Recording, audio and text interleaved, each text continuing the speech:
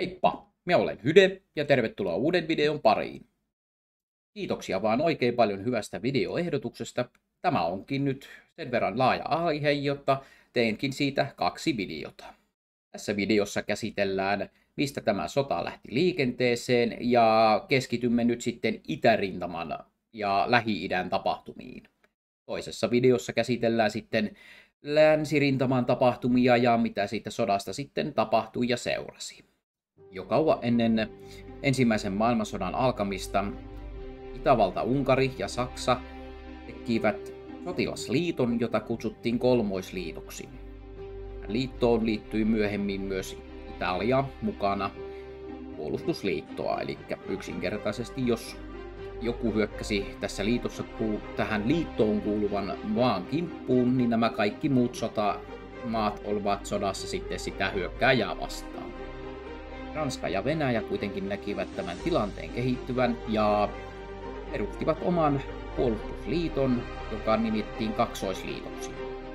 Ja myöhemmin tähän kaksoisliittoon liittyi myös Iso-Britannia, koska se piti Saksaa hieman uhkana.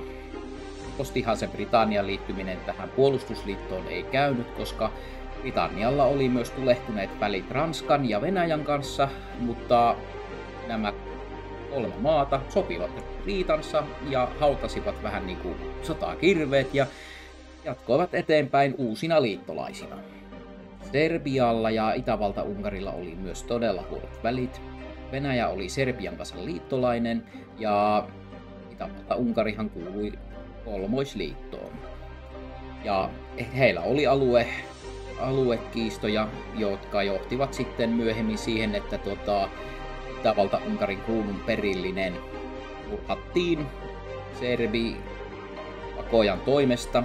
Serbi hallitus ei ollut kuitenkaan tätä määräystä antanut, vaikka tällä murhaajalla olikin serbiagenttitausta. Eli siis Sarajevossa kesäkuun 28. päivä 1914 surmattiin Itävalta-Unkarin kruunun perillinen. Ja Itävalta-Unkari uhkasi kostaa Serbialle ja julisti sodan. 28. heinäkuuta 1914. Ja koska Venäjä ja Serbia olivat liittolaisia, Venäjä määräsi yleisen liikekannalle panoon, jonka Saksa taas sitten huomasi. Ja Saksa julisti sodan Venäjälle ensimmäinen elokuuta 1914. Paria päivää myöhemmin Saksa julisti myös sodan Ranskalle. Iso-Britannia ei alkajaiseksi lähtenyt tähän sotaan mukaan ollenkaan, mutta sitten Iso-Britannia julisti Saksalle sodan, kun Saksa hyökkäsi puolueettoman Belgian kautta Ranskaan.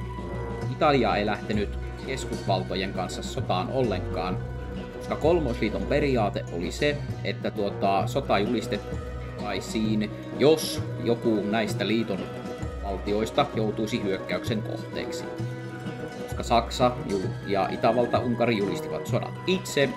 Italia oli tässä tapauksessa neutraali ja erosi myöhemmin kolmoisliitosta ja hyökkäsi Itävalta-Unkariin ympärysvaltojen kanssa muistaakseen vuonna 1915.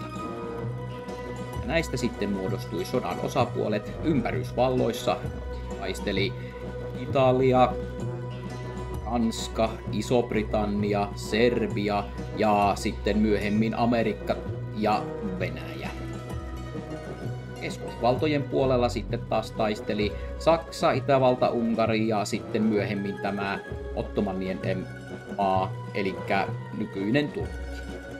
Ja Bulgaria kuului myös keskusvaltojen piiriin. Eli tässä on siis pikkusen taustoja, mistä tämä sota kaiken kaikkiaan lähti liikenteeseen. Ja käsitelläänhän nyt sitten pikkuisen tätä itärintamaa ja sitten sen, sen, sen Lähi-idän tapahtumia. Itärintamallahan ottivat siis yhteen venäläiset, Itävalta, Unkari ja Saksa. Lähi-idässä sitten taas otti Venäjä ja Iso-Britannia ottomanien kanssa yhteen. Itärintamalla Venäjä kuitenkin sai mobilisoitua joukkonsa sen verran nopeasti, että se kerkesi tunkeutua Saksan ja Itävalta-Unkarin alueelle ihan jonkin matkaa. Mutta sitten elokuusta 1914 Saksa sai kasattua joukkonsa ja sai Tanneburin taistelussa suuren torjuntavoiton. tästä alkoi sitten Venäjän alamäki Saksassa. Venäläisten suuret tappiot ja kun oli kaikesta pulaa ja elintarvikkeilla oli korkeat hinnat ja polttoainehinnat, ne herätti siis Venäjällä todella suurta tyytymättömyyttä hallitsija kohtaan ja sitten helmikuussa 1917 puhkesikin Venäjällä vallankumous. Vallankumouksesta huolimatta venäläiset sotilaat jatkoivat sotimista. Kunnes lokakuussa 1917 Venäjässä valtaan nousseet bolsevikit olivat valmiita tekemään rauhan Saksan kanssa. Maaliskuun alussa 1918 solmittu rauha, joka kantoi tätä nimeä, solmittiin Venäjän ja Saksan kanssa. Venäjän sota oli siis tällä erää ohi Itäre rintamalla. Lähi-idässä ottivatkin sitten yhteen Venäjä ja Iso-Britannia ottomaneja vastaan. Taistelut sujuivat välillä paremmin ja välillä sitten taas huonommin. Venäjä eteni Kaukasuksessa ja sitten taas Iso-Britannia eteni siellä eteläpuolella enemmän, että molemmat sai alueita haltuunsa, mutta hinta niistä oli kuitenkin aika kova.